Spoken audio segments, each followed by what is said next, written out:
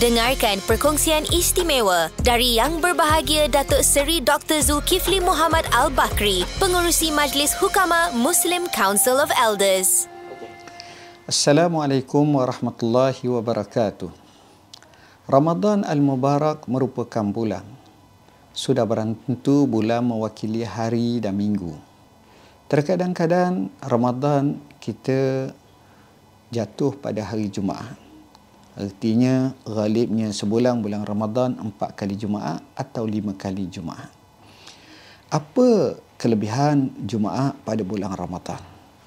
Oleh kerana Jumaat ini yang dipanggil Sayyidul Ayyam. Ramadan pula adalah bulan yang disebut dalam hadis Sayyidul Syuhur Syahrul Ramadan. Semulia-mulia penghulu kepada bulan adalah bulan Ramadan. Jika sekiranya bergabung di antara Sayyidul Ayyam dengan Sayyidul Syuhur, maka ibarat nur ala nur, cahaya atas cahaya.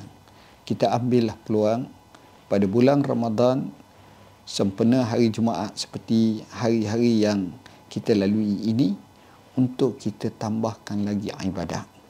Kita baca surah kafi, kita baca yasin, kita baca Al-Quran, kita tadarus Al-Quran, kita infak, kita sedekah dan semuanya itu akan menambahkan nilai pahala kita di sisi Allah Subhanahu wa taala. Jangan sekali-kali kita putus asa, kita bermalas-malasan, kita mengambil waktu itu untuk bercuti rehat tanpa kita beramal dengan amal-amalan yang soleh. Alangkah ruginya waktu yang lebih seperti ini kita biarkan dalam kosong dalam keadaan tidak kita isi dengan acara-acara ibadat.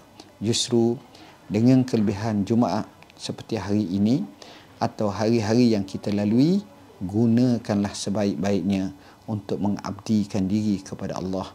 Mudah-mudahan Allah kurniakan segala hajat kita, ampunkan dosa kita, mudah dan murahkan rezeki kita, berkati kehidupan kita.